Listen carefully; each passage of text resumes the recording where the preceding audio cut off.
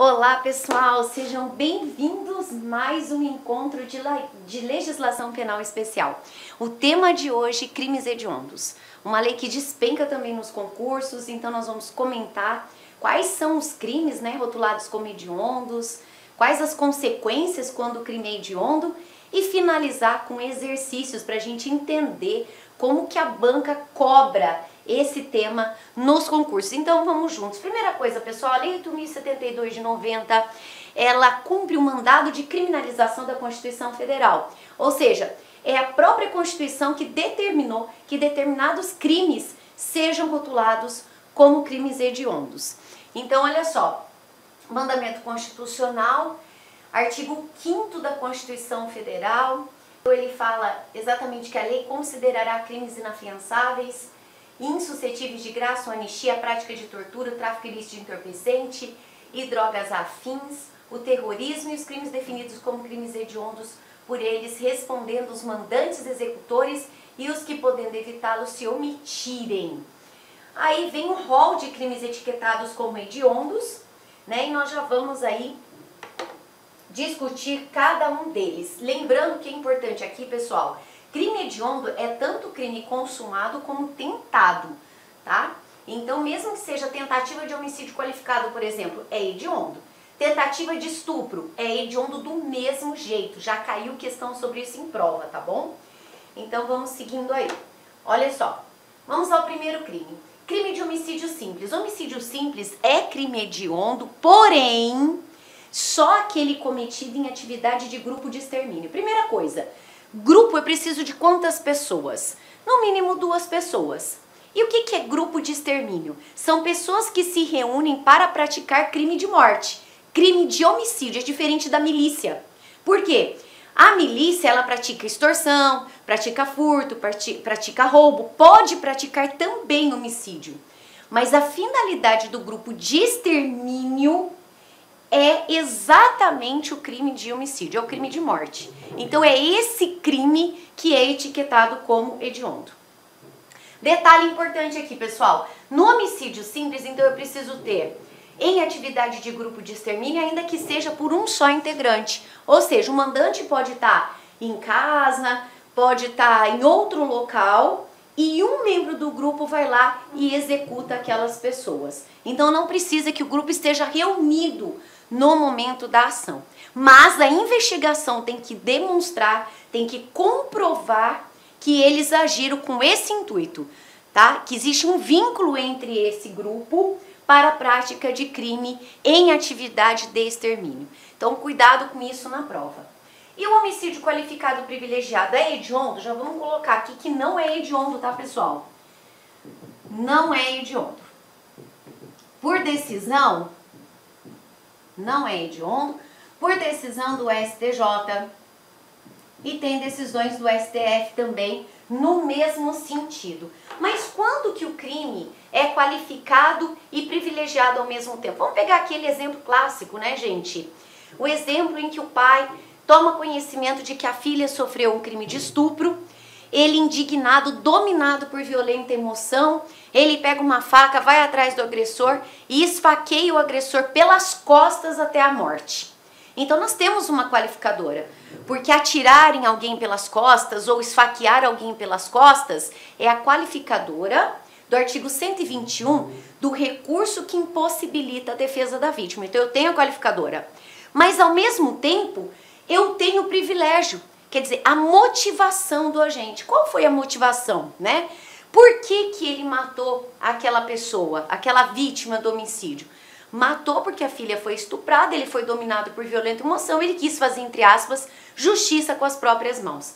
Nesse caso, nesse contexto, nós teremos o crime de homicídio qualificado pelo recurso que impossibilitou a defesa da vítima e privilegiado ao mesmo tempo, em razão da violenta emoção, né? Aí, nesta hipótese, o STJ e o STF considera que esse crime não é hediondo. Já caiu um milhão de vezes essa questão aí, tá? Mas por força justamente do privilégio. Ou seja, não é um assassino quanto mais, não é alguém que de forma fria e calculada sai por aí querendo matar outra pessoa. Ele é levado a essa a, a, esse, a essa situação em razão da, do crime ocorrido anteriormente, como no caso do estupro que eu mencionei. Muito bem. Lesão corporal de natureza, cuidado aqui, gente. A lesão corporal também é crime hediondo, mas desde que ela seja gravíssima ou a seguida de morte. Então não é qualquer lesão, tá? Nesse caso aqui, a lesão corporal gravíssima ou seguida de morte também não é contra qualquer pessoa, é contra os integrantes desses artigos aqui previstos na Constituição Federal.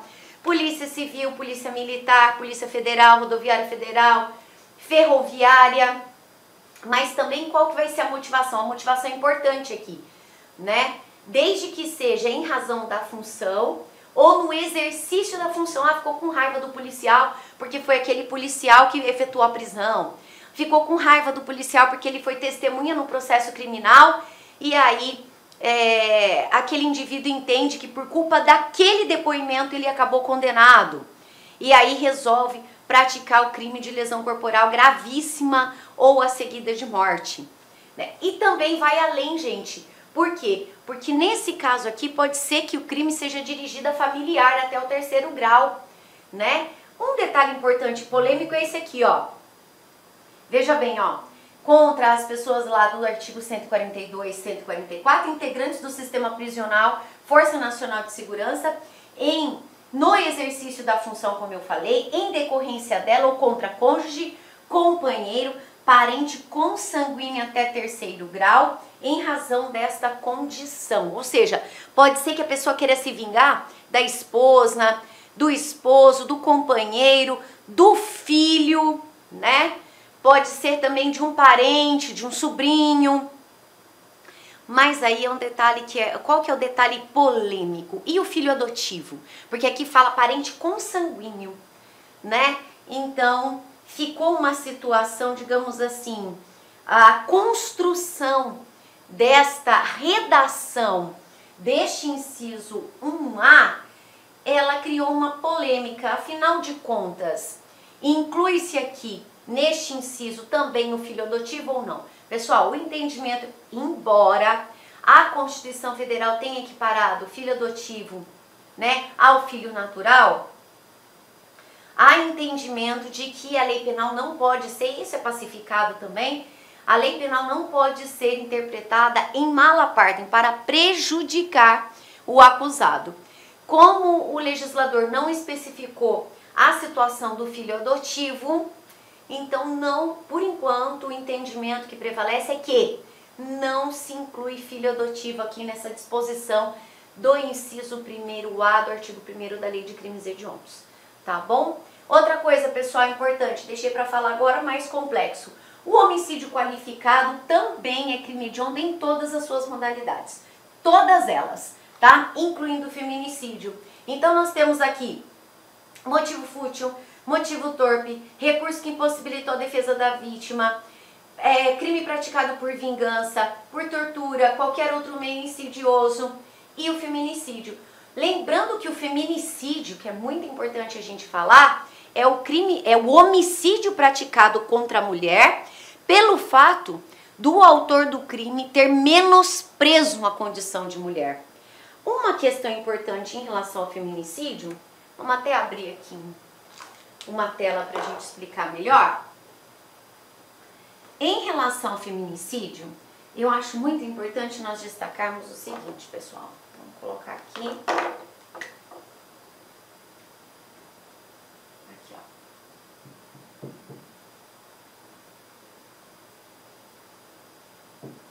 Feminicídio. No feminicídio, pessoal, o que, que nós vamos ter? Homicídio praticado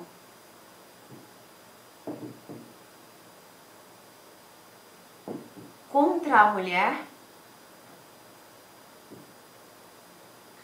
por menosprezo em razão ou em razão de violência doméstica também, né? Mas vejam, pessoal, ó, violência doméstica, ou familiar contra a mulher, contra a mulher. E aí, pessoal, é o seguinte, o que, que nós temos aqui? Pode ser das duas formas, pode ser um homicídio praticado por menosprezo contra a mulher, ou seja, o autor do crime conheceu a mulher naquela noite, não tem nenhum vínculo afetivo com ela, nenhum vínculo de parentesco, mas comete o crime porque menospreza a condição de mulher, né? Por exemplo, entende que ela deveria ficar com ele, ela não aceita, ele vai e mata, mas se conheceram naquele dia, eles não têm nenhum vínculo afetivo. Vai caracterizar o feminicídio, ou seja, o feminicídio independe da existência de violência doméstica ou familiar. É isso que diferencia. Eu posso ter feminicídio também envolvendo violência doméstica familiar? Também envolvendo violência doméstica familiar, mas não necessariamente, tá? Isso que é importante a gente mencionar. Então eu posso ter feminicídio que não envolva violência doméstica e familiar, mas precisa envolver a situação de menosprezo em relação à mulher. Tá? Então, por isso que é importante a gente mencionar aqui. E lembrando que o feminicídio é uma qualificadora do crime de homicídio. Ela é uma qualificadora do crime de homicídio, tá? Ou seja, a pena aqui é mais alta, né, do que homicídio simples. Seguindo aí, pessoal.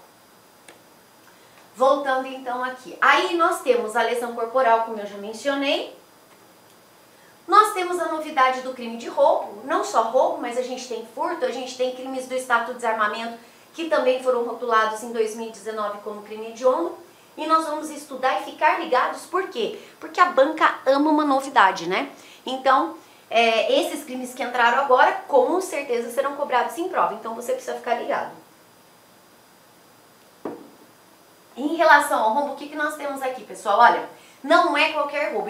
A gente já esquece o roubo simples, tá?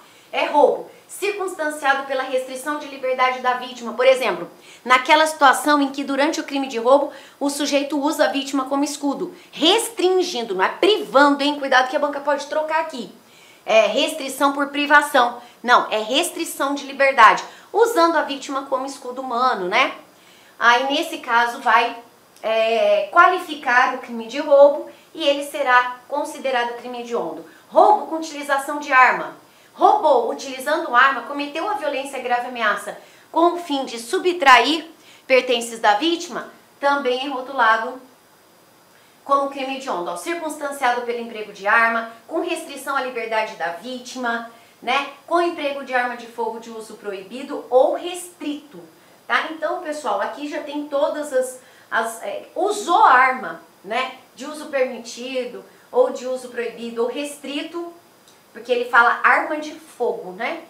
E aí ele coloca uso restrito proibido, e aqui nessa primeira parte ele menciona só arma de fogo, que a gente pode levar em consideração que seria de uso permitido aqui. Vai caracterizar aí o crime hediondo de roubo. E o roubo qualificado pelo resultado lesão corporal grave, cuidado que a banca pode colocar gravíssima, pode colocar leve grave, a banca pode trocar aqui, tá? Lesão corporal grave ou morte, né? Qualificado pelo resultado lesão corporal ou morte. A morte seria o caso do latrocínio. O latrocínio já era, que é o parágrafo 3 do 157.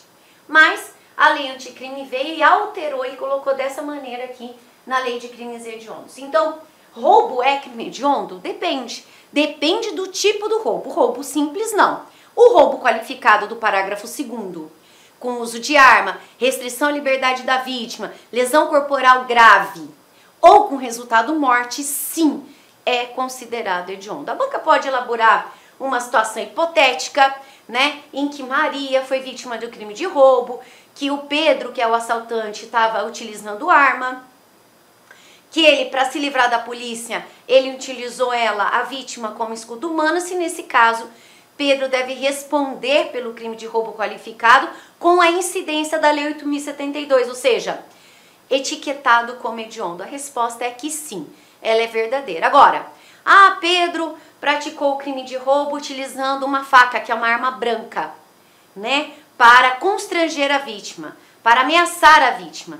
Nesse caso, vai ser crime hediondo? Não, porque ele fala arma de fogo, né? E não arma branca. Então, cuidado com essas pegadinhas, né, pessoal? Que pode cair aí, tá bom? Pra você na prova. Vamos seguindo. Nós temos o crime de extorsão. A extorsão simples vai ficar fora. Nós vamos ter a situação da extorsão com restrição à liberdade da vítima, que seria aquela extorsão, o sequestro relâmpago, né? Eu vou restringir a liberdade, restringir, hein, pessoal? Restringir a liberdade da vítima colocando o porta-mala ou ficando com ela no carro para que ela me passe todas as senhas, faça os pics lá e eu consiga transferir, transferir valores para minha conta ou para uma conta de terceiro. Esse crime hoje é etiquetado como hediondo, olha lá, extorsão, qualificada pela restrição de liberdade da vítima, ocorrência de lesão corporal, né, ou morte. Veja que aqui ele não coloca gravíssima nem grave, ele coloca ocorreu lesão corporal ou morte, né? Restringiu a liberdade da vítima e provocou lesão corporal ou morte, hediondo. E a extorsão mediante sequestro, que já era crime hediondo. Na extorsão mediante sequestro, eu não tenho restrição à liberdade da vítima, eu tenho privação de liberdade, ou seja, eu coloco a vítima em cativeiro e naquele exemplo clássico, eu ligo para a família para pedir o resgate. Esse crime há muitos anos já é considerado hediondo, né? desde 94. Temos o estupro em todas as suas modalidades, né? O estupro, o estupro contra maior de 18, contra menor de 14, contra que é o estupro de vulnerável. Um detalhe importante, gente, que eu acho uh, interessante anotarmos, fazemos aí uma observação. Aqui, no caso de estupro de vulnerável, nós precisamos lembrar que vulnerável não é só o menor de 14 anos. É menor de 14 anos, é a pessoa com deficiência ou a vítima, independentemente da idade, que não possa oferecer resistência, que tenha prejudicado a sua capacidade de consentir ao ato sexual. Por exemplo, uma vítima que tenha mais de 18 anos, que foi dopada, ela não tem condição de oferecer resistência. Ela não tem condição de consentir aquele ato sexual. Então, mesmo tendo mais de 18 anos, o estupro nessa hipótese, se ficar comprovado que a vítima estava dopada, será estupro de vulnerável, tá? Então, eu digo isso porque muita gente pensa assim: "Ah, é estupro de vulnerável é só, né? Só contra menor de 14 anos". Isso não é verdade tá bom? Menor de 14 anos, pessoa com deficiência ou qualquer pessoa que não tenha condição de se opor ao seu agressor, que não tenha condição de consentir aquele ato sexual, vai ser considerado estupro de vulnerável. Então é importante a gente mencionar isso. A epidemia com resultado morte, lembrando, gente, já caiu questão. Se for provocada epidemia, mas não tiver o resultado morte, é crime, mas não é hediondo, tá? Não é hediondo. Para ser hediondo, tem que ter o resultado morte. Muito bem. Seguindo aí. Falsificação, corrupção, adulteração ou alteração de produto destinado a fins terapêuticos ou medicinais. Este inciso entrou na lei de crimes hediondos porque nós tivemos um escândalo na década de 90, envolvendo a fabricação e distribuição de pílulas feitas de placebo. Muitas mulheres engravidaram e naquela, naquele caso especificamente, é, os fabricantes agiram com dolo e a partir daí então esse crime foi considerado hediondo. Porém, não é só de medicamentos e a banca se aproveita disso na hora da prova. Porque veja, olha, falsificação, corrupção, adulteração de produtos destinados fins terapêuticos ou medicinais. Entra medicamentos, mas entra outros produtos também. Se você der uma lida no artigo 273 do Código Penal, você vai ver que até maquiagem, dependendo do cosmético que for, do cosméticos que forem fabricados e da substância utilizada, vai ser, se essa substância não for autorizada pela Anvisa, na porcentagem adequada, com todo o cumprimento das normas técnicas que garantem a saúde das pessoas, dos consumidores que forem utilizar aquele produto, será enquadrado aqui no artigo 273. existe uma avalanche de críticas, né? Porque muitos doutrinadores consideram que esse inciso é muito amplo e que nem todas as hipóteses do 273 deveriam ser consideradas hediondos. Porém, há críticas daqui, críticas de lá, mas o que prevalecem é que o artigo 273, tanto o caput quanto o parágrafo 1 primeiro A e primeiro B, continuam na lei de crimes hediondos. Então, para você na prova, não se fixe apenas em medicamentos, tá? Mas também para esses outros produtos, o que inclui cosméticos aí, tá? Então fica ligado porque eu já vi questão sobre isso e muita gente erra. Favorecimento da prostituição, se a gente pegar o ano aqui, foi etiquetado como hediondo em 2014 por conta da Copa do Mundo, né? O Brasil precisava dar uma resposta mais efetiva a essa vergonha que é a exploração sexual de criança e adolescente, a, a essa, digamos assim, essa visão que muitos países têm, né, que, que o Brasil é um local de turismo sexual. Então, havia essa necessidade de uma resposta mais contundente do Estado em relação a essa situação para que os jogos acontecessem aqui. E aí a ideia foi, não, vamos rotular esse crime como crime hediondo, né? É, só é, rotular o crime como hediondo, nós sabemos que não diminui né, a prática do crime. A gente precisa da lei, mas de outras políticas criminais mais efetivas para que de fato esse crime, uh, que a gente tenha índices menores desses crimes, né? redução nos índices dos crimes. No caso do favorecimento à prostituição, outras políticas criminais que ajudam a diminuir a ocorrência são aquelas políticas que eu diria até sociais, né? Com geração de emprego, de renda, que traga dignidade para a população, acesso à educação. Então isso evita, né? São medidas é, preventivas que tiram meninas e meninos da rua da situação de vulnerabilidade e assim ficam menos suscetíveis à exploração sexual. Então, o crime está aqui, olha lá, ó, favorecimento da prostituição ou de outra forma de exploração sexual de criança e adolescente ou de vulnerável. Cuidado, que aqui pode colocar adulto, criança, adolescente, né? A banca pode acrescentar o que a lei não prevê, com uma pegadinha. Então, fique esperto que é direcionado a criança, adolescente ou vulnerável, tá bom? Furto qualificado entrou também, né, gente? Porque ninguém aguenta mais, não é? As ações aí desses grupos que praticam furtos e roubos cinematográficos, principalmente agências bancárias. Há uma necessidade de dar uma resposta também mais contundente em relação ao delito, então eles vieram para a lei de crimes hediondos. Né? Aqui o furto não é qualquer furto também. Furto tem que ser com a utilização de explosivos, olha só, pelo emprego de explosivo ou artefato análogo que cause perigo comum, tá? Então é esse crime de furto que é considerado hediondo. Então, ah, o furto simples. Não, tá? É o furto com utilização de explosivo ou outro artefato que cause perigo comum. Esse furto é hediondo. As demais modalidades do artigo 155 do Código Penal é crime, também são considerados crimes, mas não hediondos.